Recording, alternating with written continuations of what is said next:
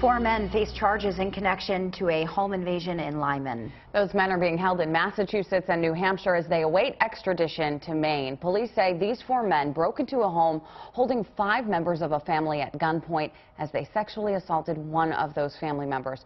Police say the four men stole several items, some of which were recovered when the police arrested the group yesterday. Charges could come within the next few days. The community will gather together tonight to support the family of a Saco man who's been missing for nearly a month. James Dyer was last seen in the early hours of New Year's Day leaving a Portland nightclub. A night of music and entertainment will be held tonight at Duffy's in Old Orchard Beach. The event starts at 6. It runs through 11. All the proceeds will benefit the Dyer family.